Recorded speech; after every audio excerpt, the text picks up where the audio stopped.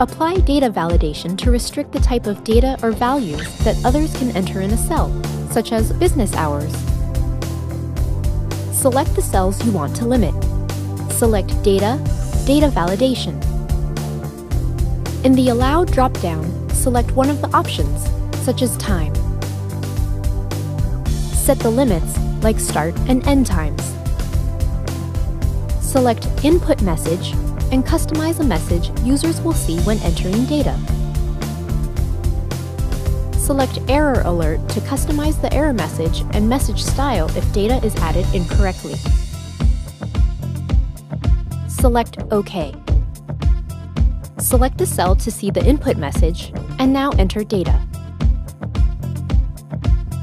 If data is outside the parameters, the error alert will appear.